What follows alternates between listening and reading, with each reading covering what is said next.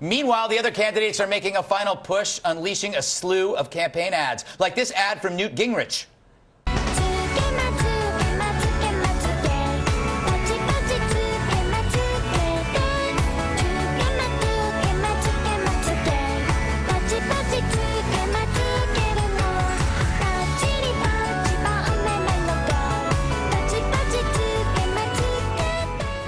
I'm Newt Gingrich, and I approve this message.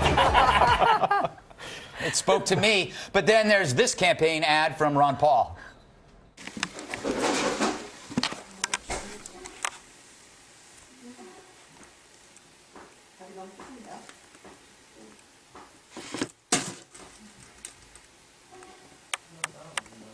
I'm Ron Paul, and I approve this message. So I think the turtle is supposed to be Israel, but I'm not sure. and this ad from Rick Perry.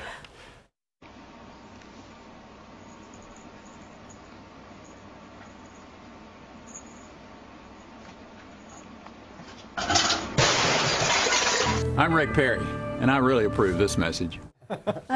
Oh, they're just getting meaner and meaner.